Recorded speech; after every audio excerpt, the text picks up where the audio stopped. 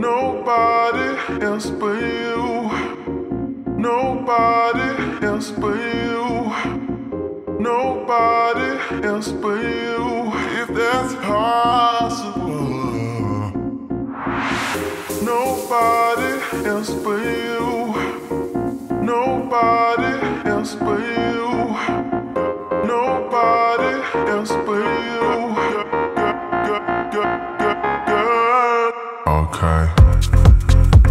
Ja, goed zo Mo, juist.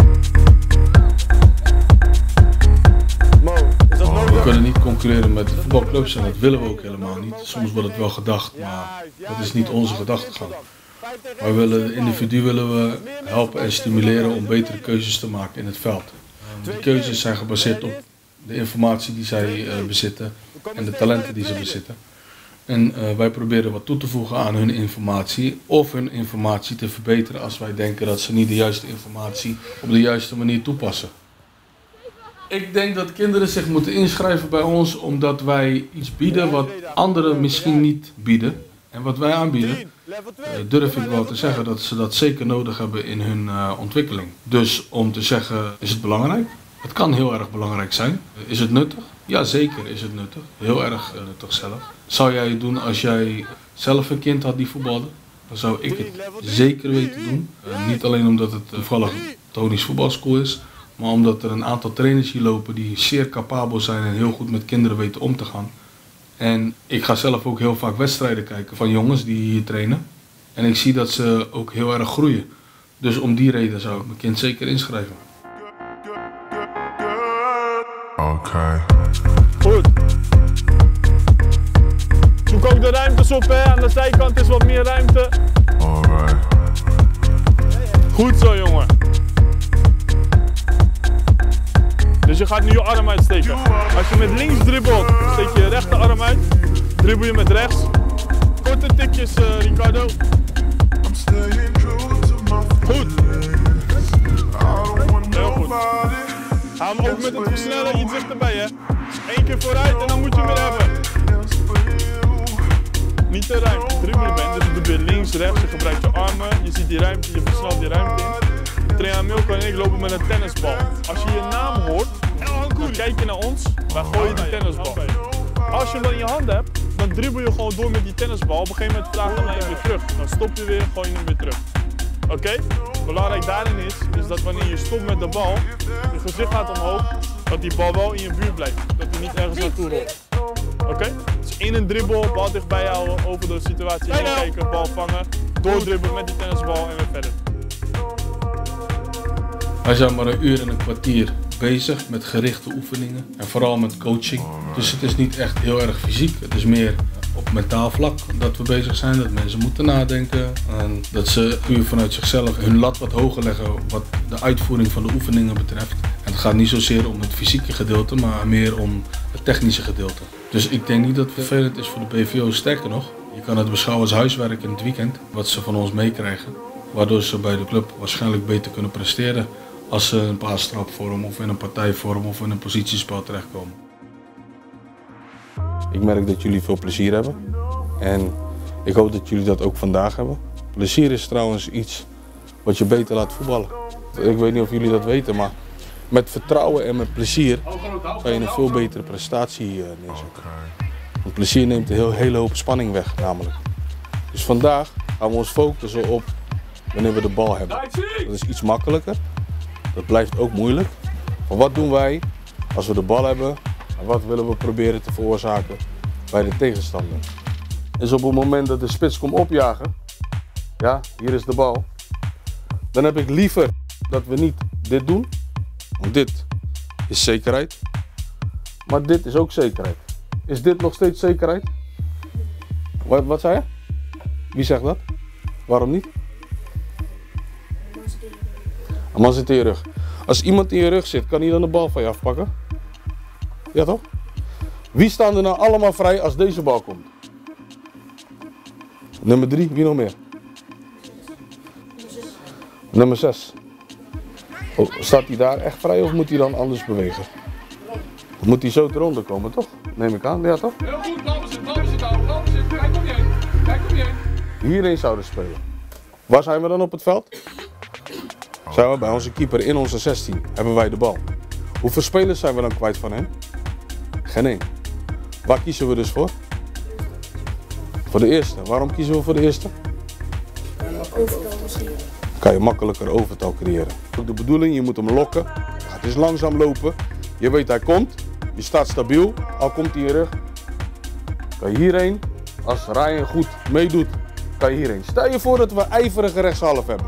Die doet dit. Is dat goed of slecht voor ons? Waarom is dat goed voor ons? Komt er ruimte. Hier is ruimte vrij. Gaan we dat doen met onze 10 of met onze 9? Goed zo. Deze ruimte is toch veel beter? Waarom is die beter? Want als die, als die 6 komt opjagen en Ridwan ziet in zijn ooghoeken, hé, ik kan Ryan niet inspelen. Ja, want hij staat gedekt. En hij speelt gewoon weer Elgiro aan. Dus als hij twee stappen neemt en Ryan komt eventjes eronder, gaat die 6 twijfelen. Toch? En als we dan die bal spelen in de dekking, dan hebben we hier de bal. Daar willen we de bal hebben. Dus we bouwen niet meer op om de bal achterin te hebben. We gaan opbouwen om de bal hier te ontvangen en vanuit hier te voetballen. We lokken uit. Hij moet willen druk zetten. Dan kom je hier vrij. Hij moet druk willen zetten op je.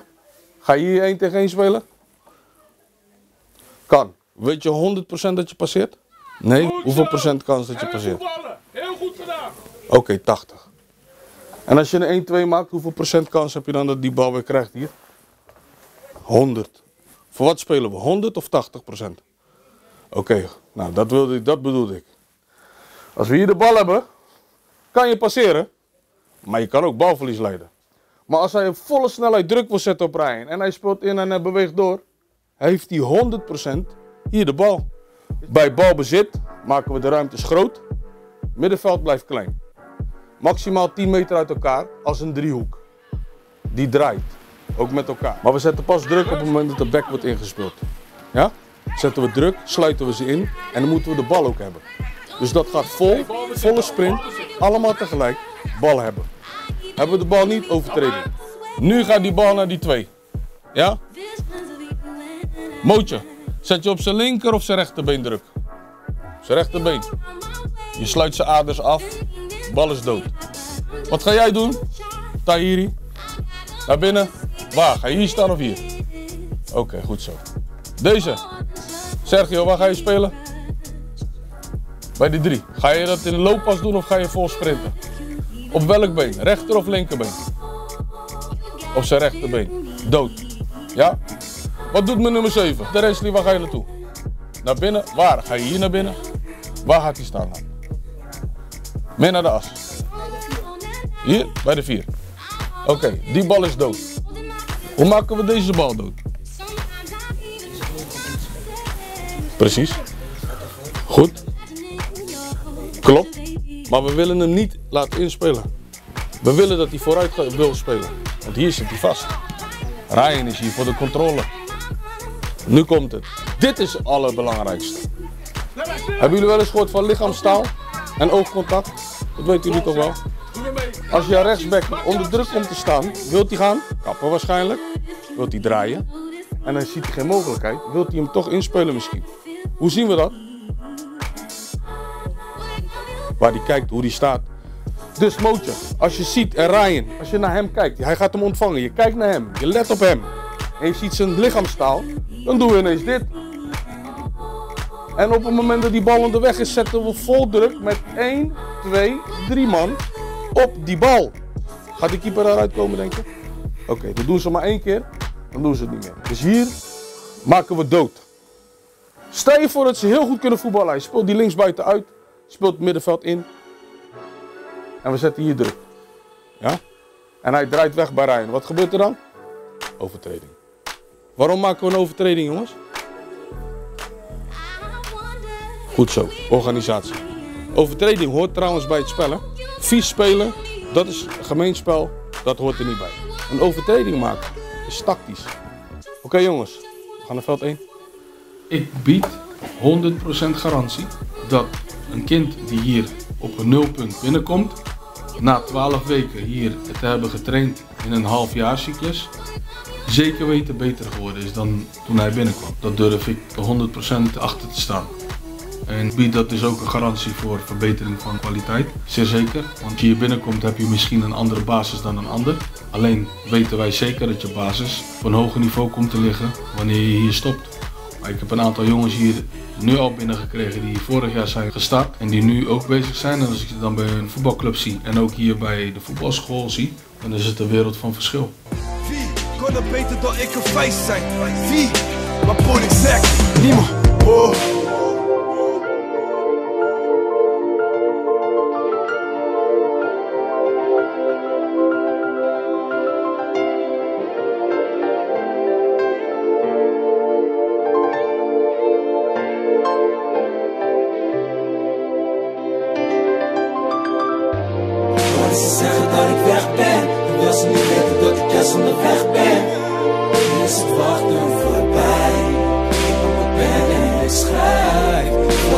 Palestino